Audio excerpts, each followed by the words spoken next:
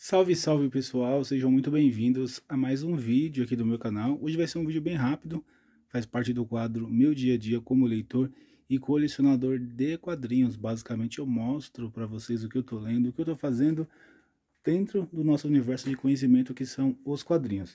Galera, muitas pessoas pedem aqui no canal vídeos é, indicando mangás é, com apenas um volume. Só que nós já temos alguns vídeos aqui no canal disponíveis, onde eu indico para vocês mangás com um volume, dois volumes, três volumes, mangás curtos.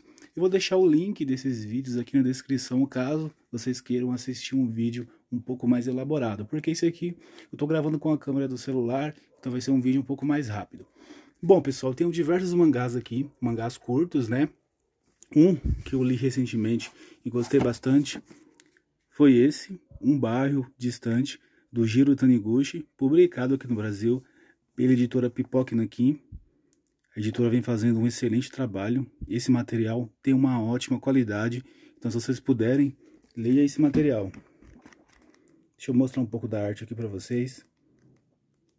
O personagem, o protagonista, ele acaba voltando no tempo e tendo que fazer coisas, ou pelo menos algumas situações que vai impactar no seu futuro. Bom, outro mangá com apenas um volume, um não, dois, Tomie, também da editora Pipoca Naki, ótimo mangá. Algumas histórias aqui são muito boas, outras nem tanto. A editora Pipoca Naki vem fazendo um ótimo trabalho nesse aspecto. Virgem, depois dos 30, também é um ótimo mangá. Deixa eu tirar aqui para vocês. Esse mangá foi publicado já tem um tempinho. Eu não sei se ele encontra disponível, mas é uma ótima história. Deixa eu abrir aqui. Não quero mostrar muita arte porque tem algumas cenas aqui proibidas para menores de idade. Esse mangá é mais 18, tá? Mas vale a pena. Outro mangá curto que eu gosto muito é Ayako, da Veneta. Eu digo mangá curto porque tem apenas um volume, mas na verdade são três volumes japoneses em um único volume. A editora Veneta publicou esse mangá com apenas um volume, mas é muito bom também. Se vocês puderem, leiam porque super, hiper, vale a pena. Outro mangá curto que eu acho que vale a pena é o Uzumaki, também do Junji Ito. Foi publicado aqui no Brasil pela editora Mitos, com selo Tsuru. Eu gosto muito dessa publicação. Editora Devir, desculpe. Com selo Tsuru. É o melhor mangá que eu li do Junji Ito, tá?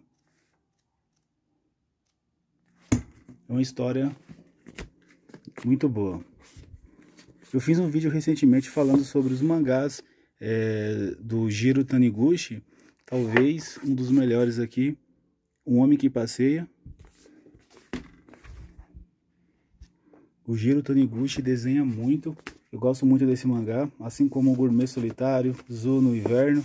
Marcha para a Morte também é um ótimo mangá, da editora Devir, com seu Tsuru. Tem vídeos aqui no canal que eu falo sobre esse mangá. Na verdade, sobre todos esses mangás que eu estou comentando aqui com vocês. Vou deixar o link desses vídeos na descrição, onde temos uma resenha um pouco mais elaborada.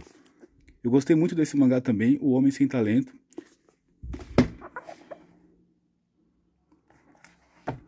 Foi publicado aqui pela editora Veneta, assim como Kanikosen O Navio dos Homens.